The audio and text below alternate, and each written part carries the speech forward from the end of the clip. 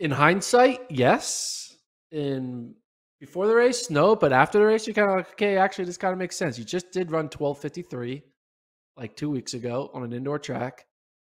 Clearly, he has the best setup possible for him to go after these records with multiple teammates rabbiting.